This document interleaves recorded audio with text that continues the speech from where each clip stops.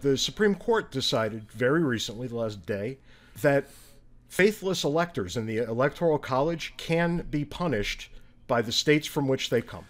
I didn't see that. All right, so Yeah, for this- our listeners, for our listeners, a faithless elector is one who votes the opposite way of what the popular vote in the state was. Not necessarily the opposite way, just a different way.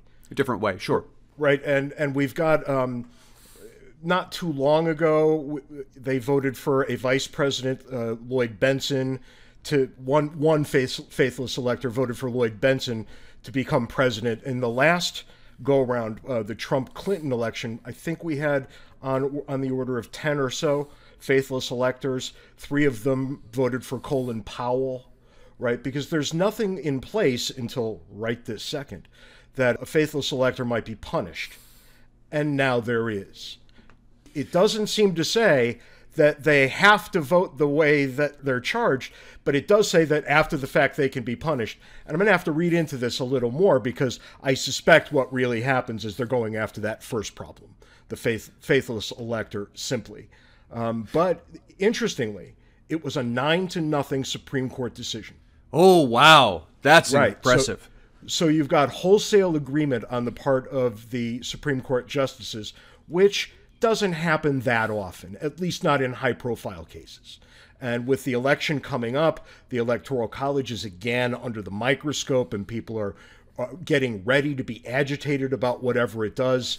Well, all of a sudden, it seems they can't do as much as they once could. And you and I wrote a, an article during the last election sequence about the Electoral College. You and I actually, I think tongue in cheek, called on the Electoral College to elect somebody other than Donald Right. Trump, right? That you guys can do whatever you want. Now go do it. Um, and like I said, a bit tongue in cheek on our part, nonetheless. That's never going to happen now. I'm really interested now to read what the Supreme Court had to say because my understanding is the Electoral College was designed to to be at the presidential election level like uh, the the House or the Senate is uh, the level of laws that you elect these people and they decide who's going to be president. Well, yeah, more or less, right? There's a lot more to it uh, we can't really get into here. But one of the, the apparent features of the Electoral College is now off the table. Hmm. And that's interesting.